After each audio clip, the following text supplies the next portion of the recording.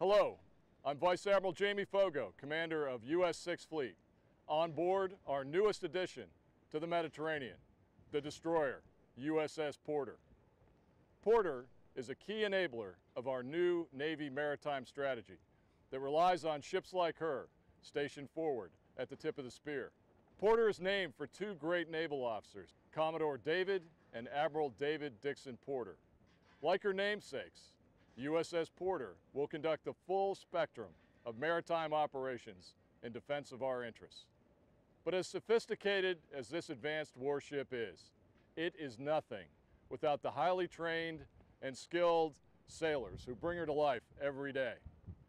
To Captain Guy and Command Master Chief Keller and the crew, I wish you well and look forward to seeing great things from you. Welcome to Europe, USS Porter. Fair winds and following seas.